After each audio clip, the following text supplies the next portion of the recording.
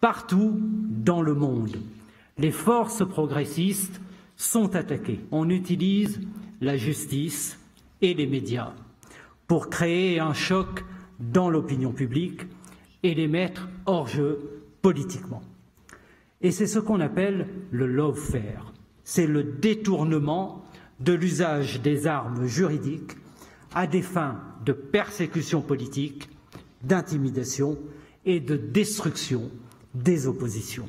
Le lawfare est devenu l'arme des puissances ultralibérales contre toute forme d'opposition politique, militante ou populaire. Dans cette entreprise pensée pour tuer politiquement, les médias jouent un rôle qui est essentiel, un rôle qui est complice. Pendant ce temps, le pouvoir en place, lui, n'est inquiété de rien, et les enquêtes sont soit inexistantes, soit immédiatement étouffées ou balayées d'un revers de main par la justice et la justice elle-même.